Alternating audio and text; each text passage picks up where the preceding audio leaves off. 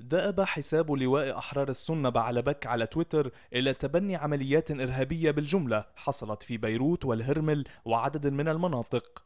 لم يتوقف هذا الحساب عن تهديد المسيحيين والسياسيين وقيادة الجيش شاغلا وكالات الأنباء العربية والعالمية مع كل انفجار أو اهتزاز أمني إلا أن هذا الحساب المشبوه وقع أخيرا في قبضة القوى الأمنية.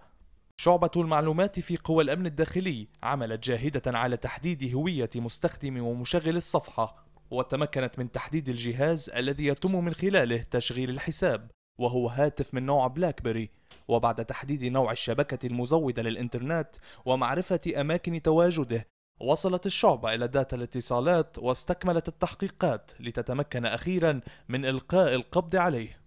حسين شومان الحسين هو بطل لواء أحرار السنة من مواليد العام 1995 تم نقله إلى المديرية العامة في بيروت للتحقيق معه معترفا بتشغيله الحساب المشبوه. أحجية حساب لواء أحرار السنة بعلباك فكت بعد الإنجاز الأمني الدقيق الذي حققته شعبة المعلومات التي حولت الصفحة التي كادت أن تشعل فتنة إلى صفحة يظهر على صدرها العلم اللبناني.